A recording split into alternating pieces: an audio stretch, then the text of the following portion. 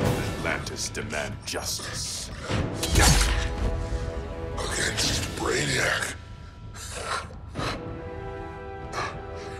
I've seen his mind, felt his power.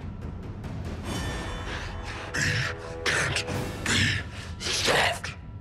But you can.